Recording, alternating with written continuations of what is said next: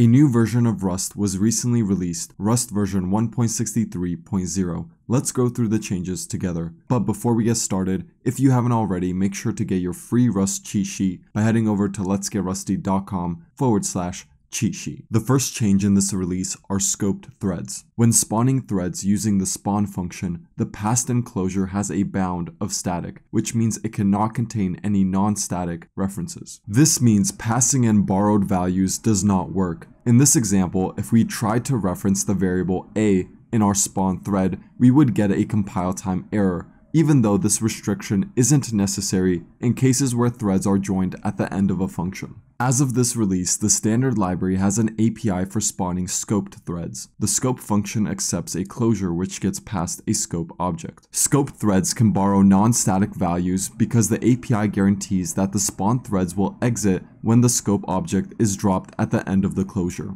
In this example, we can immutably borrow A in the first spawn thread and mutably borrow X in the second spawn thread because no other threads are using it. After the scope ends, we are able to access and modify our variables again in the main thread. The next feature in this release is ownership for raw file descriptors or handles depending on which operating system you're targeting. Previously, when working with platform APIs, you would represent raw file descriptors or handles using the c_int type or its alias raw file descriptor. The problem is these types don't encode whether the API takes ownership of the file descriptor or merely borrows it. As of this release, Rust provides wrapper types such as borrowed file descriptor and owned file descriptor. These types are marked as transparent, meaning that extern C bindings can directly take these types to encode the ownership semantics. It's recommended that new APIs use these types instead of the raw file descriptor type. Another change is that in this release, the conditional variable, mutex, and reader-writer lock types are able to be created in const contexts. This means you can avoid using crates like lazy static for creating global statics with mutex, reader-writer lock, or conditional variable values. Prior to this release, if you had a function with two arguments, the first one being a generic and the second one being a generic with a trait bound, you would get an error if you tried to specify a concrete type for the first generic using the turbofish syntax. In this release, this restriction has been relaxed, however the impl trait parameter, despite desugaring to a generic, remains opaque and cannot be specified with the turbofish syntax. Lastly, with this release, non-lexical lifetimes are now available in all editions of Rust. If you haven't already, make sure to get your free Rust cheat sheet by heading over to letsgetrusty.com